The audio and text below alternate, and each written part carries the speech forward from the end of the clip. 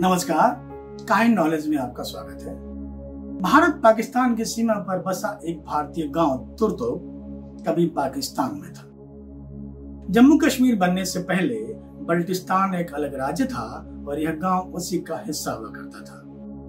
यहाँ के लोग अपने आप को आज भी तुर्किस्तान के यादव वंश का वंशज मानते हैं।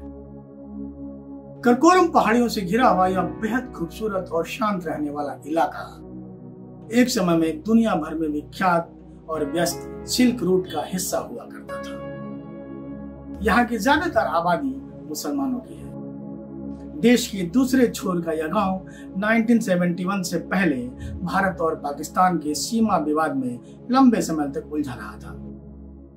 1947 में भारत आज़ाद तो हुआ, पर यह गाँव पाकिस्तान के उत्तरी भाग के सरहद का हिस्सा बन गया था। 1971 में लड़ाई में जीत के बाद भारतीय कर्नल रविंद्र जैन इस गाँव में पहली बार यहाँ पहुँचे थे।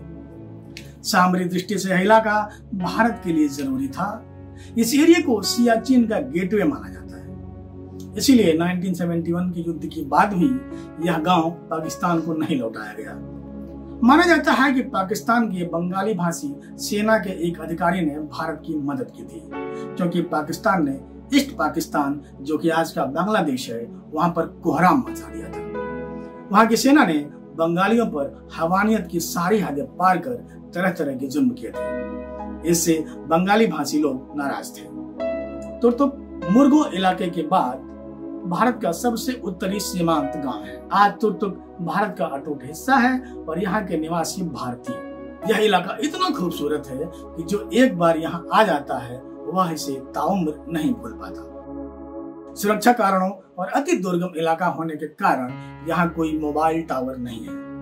न सोशल मीडिया की अभी पहुँच है, पर अब लेह लद्दाख का केंद्र शासित प्रदेश बन जाने के बाद यहाँ विकास की रफ्तार पहुंचेगी, यह तय है। इस वीडियो में इतना ही।